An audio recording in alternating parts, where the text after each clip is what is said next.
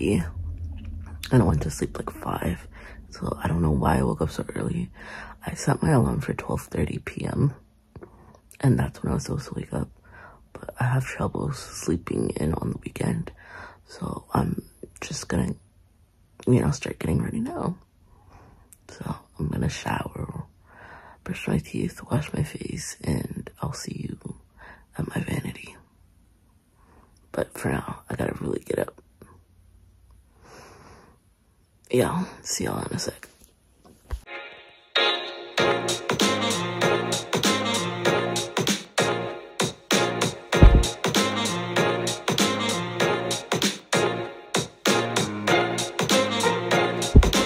Okay, so I'm showered and dressed.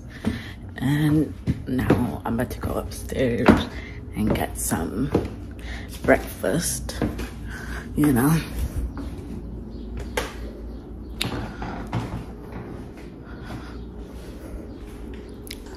First I gotta feed my fish. Look at my little fish. His name is Dorothy, guys. Like from Dorothy on Elmo. But yeah, I'm gonna clean his tank today when I get back home. Among other things, I'm gonna feed him.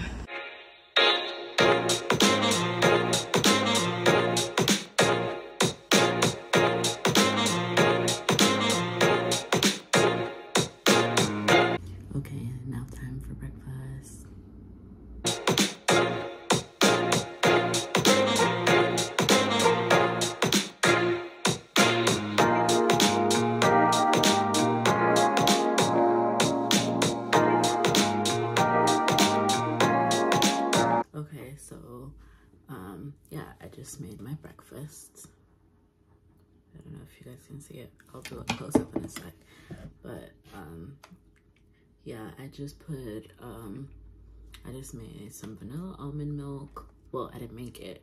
I just poured it in a cup that I'm gonna drink out of.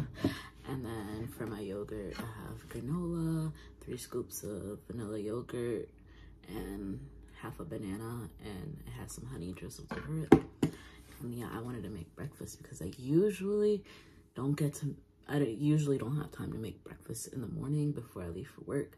So I just go to work and then I'd eat lunch or something. But, you know, it's Saturday and I'm finally here. So I can eat some breakfast and chill. So yeah, after I eat some breakfast and watch my show, which will probably be NCIS or a movie I see, um, then I'm gonna read for 30 minutes and then I'm gonna get dressed and start my day. See you in a bit.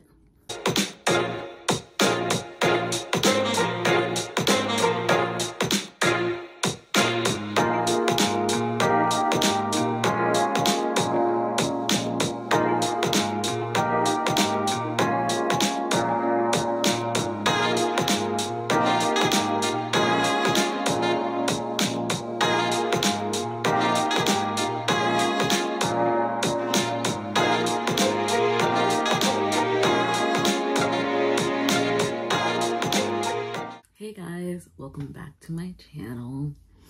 As you can see, I've already pretty much started my morning. I woke up like 8.30 and then I showered, washed my face, brushed my teeth, moisturized, um, and then I washed dishes, ate some breakfast, and um, I read about 15 minutes of my book. I said I was gonna read 30, but I can't really get through this book. It's kind of hard. Um, it's called Serafina and the Splintered Heart by Robert Beatty. And it's it's a it's not even a young adult book. It's it's probably like a lower age group because the girl, like the main character is like 12 years old and that's just not my age group, so I don't take much interest in what a 12 year old would do. But I think besides that, it would be a pretty okay book. Um, but yeah, it's just taking me forever to get through. I started it like um at the beginning of like Sunday or whatever, and today's Saturday. In fact, today's date? Today is Saturday, June 17th, and it is currently 10.30 a.m. So it's been two hours since I woke up. But yeah, so now I am gonna do my makeup and I'm gonna get dressed. I'm thinking about going to like Center City to spend the day and just hang out because I like never do that don't have the time. But yeah.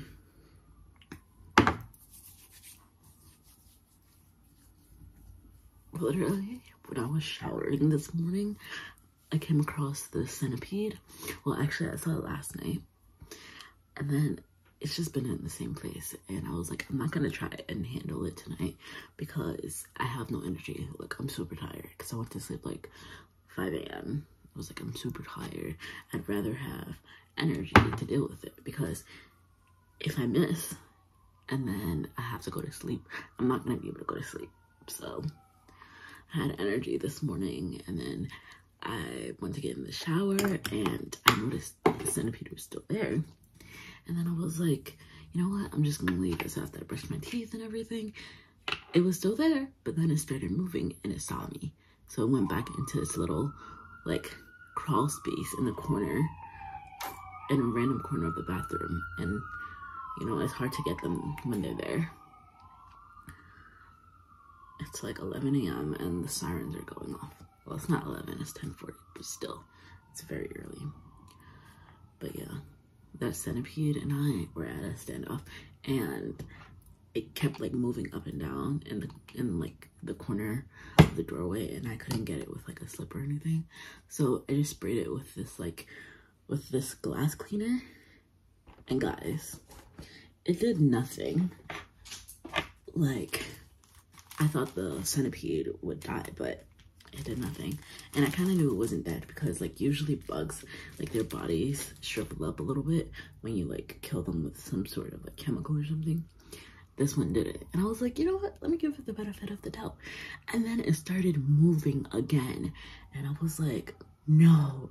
So I sprayed it with this other um, bathroom cleaner thing. And it's like, it's like for the bathtub and it like foams up and it like like kept it in place and like with all the soap and everything and then it was really dead but i'm just like like yeah i really didn't want to have to kill the bug like if it was just gonna stay there you know like in sleep or chill or whatever and it didn't move in front of me i'd be okay. But it did. It moved in front of me and i was just like no we're not gonna do this. I'm not gonna worry about also like the fact that I sprayed it and I missed the first time, I was like, I'm not gonna let a revenge bug like roam around here because that's just not what I'm about to do. So I was just like, yeah, you gotta die. I'm sorry. I tried my best to, you know, preserve your life, but it's not gonna happen. So it had to go. I'm sorry, God. I didn't mean to kill one of your creatures, but like I just can't do can't do bugs. Like wasps. Why did I say that like that? They they can like continue stinging. And they're like very vengeful animals. Like if you harm them, if you try to harm them and you don't and they survive, like you gotta you gotta be put on a watch list because they will come back after you. So I don't know if the centipede. I don't even know if it's a millipede or a centipede, but y'all, I was not about to sit there and count them legs to determine whether it was an insect with less legs or more legs. I was not about to do that.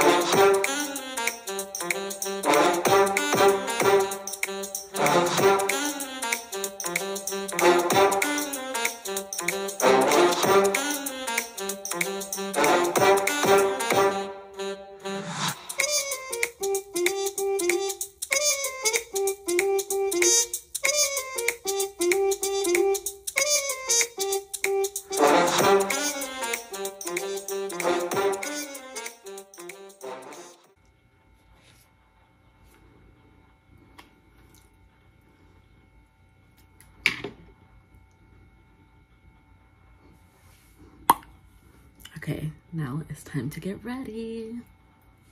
All right, y'all, this is my OOTD.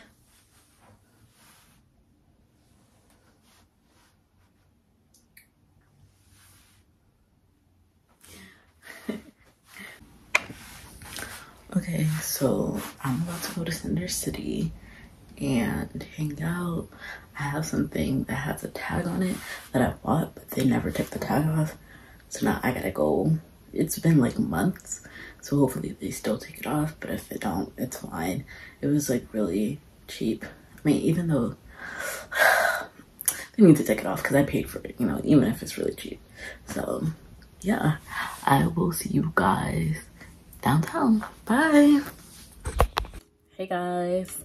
So I just got back from my um, Center City excursion and I didn't film as much as I wanted to outside.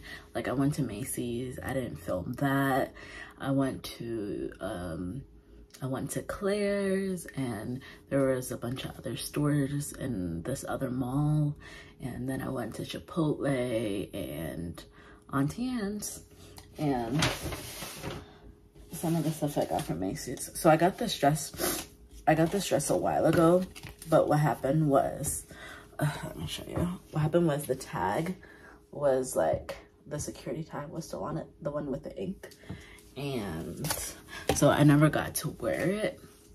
So, um, and I got it like three months, two, three months ago. So, you know, I got that taken off, removed today. And then I got this green dress. Oh, she folded it up so nice. It's so cute um yeah. And it's like so beautiful. It's like the sage green with floral and a lace detail on the top. So it's so cute. I can't wait to wear this. But um yeah i don't know what i'm gonna wear this to because i wouldn't wear this work or classes which are online, so not really sure. And then I got some uh, cosmetic and skincare items. So I'm not too big on buying skincare from like unknown brands, but I saw this and I was just like, okay, maybe I'll get it. You know, my under eye, my under eyes can't get any worse. I hope, because if it gets worse, and then I look back at this video, I'm gonna cry. But yeah, so I got these and they have hyaluronic acid and rose water. And then I got this sheer and glow bronzer.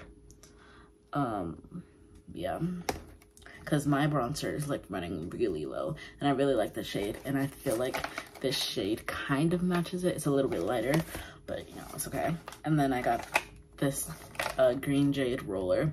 I have one back home, but like I keep forgetting at home. So I'm just like, you know what? Let me get one for school as well. And it comes with a little gloss shot thing. So yeah. Yeah, so that was, oh, and then I got this headbands from, this headband from Claire's. And usually like I do the buy three, get three for free at Claire's. But I was like, I feel like I'm starting to outgrow Claire's because it's like a lot of colorful things. And I used to be really big into headbands. Like I used to have headbands in every single color. Red, yellow, green, blue, purple. Bandana, scrunchies, any color you can admit you can imagine in like any accessory and I had it. But I'm just becoming like more like geared towards neutral colors. So I just picked up this black one to replace this one that I have. But yeah, so that's really it for this video. Um, and if you watch to the end, you'll see my mini Sephora haul. So um, I hope you enjoyed this video and stay to see the Sephora haul. And if you haven't already, make sure you like, comment, and subscribe and hit that notification bell so you can see my next video, which will be coming out soon. Bye! Hey guys, welcome back to my channel, Radiance by Randi. Today I'm gonna be doing a mini haul of some things that I got while out shopping today. So first, I'm gonna start with my stuff from Sephora. Okay, so the first thing I got was this concealer by Born This Way. And um, I really liked it. I was trying it on in the store and I liked that it was full coverage. Um, so it can help hide my under eye circles, which is something I'm very um, I'm very insecure about. And then I also got a powder to help it like seem blendlessly for those days where I don't want to wear my tinted moisturizer and I just want to wear my concealer. Um, and then I got, oh wait, this is the, this is contour. So this is the contour by Tower. And then this is the powder by Laura Mercier. And then I have I don't know how to pronounce this, but um, it is a black owned brand and it's a um, skin tint uh, moisturizer and it has some sort of SPF in it. I hope because that's what the lady said. um, so yeah. And then I also went to the drugstore because drugstore makeup is always better and less expensive in my opinion. So first, I got this um, Wet n Wild Mega Liner, and it's my favorite. Um, it's one of my favorite eyeliners actually. Um, my favorite eyeliner would be this NK liquid eyeliner, but I feel like the way that it peels off is like kind of inconvenient at times, but I also like the way that it peels off when I'm making my, when I'm removing my makeup. And so yeah, I just feel like this eyeliner gives me better control when I'm doing my wing, when I'm doing like a big wing or like a, even a more angled wing. Um, and then I got my e.l.f. primer. And I got this um, eye pencil for my under eye. And then I got some more brushes because I need more brushes. yeah